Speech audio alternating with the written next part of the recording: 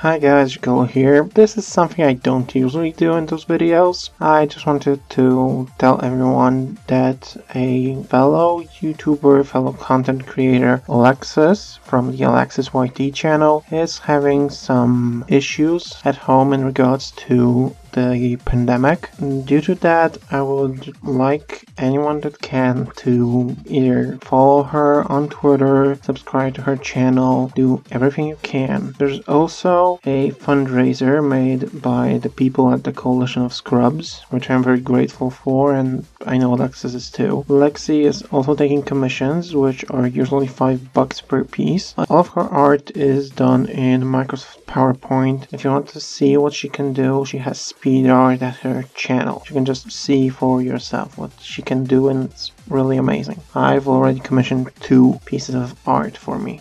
So yeah, subscribe, follow Aleksis, donate if you can or if you want to get a commission. Thank you for your help.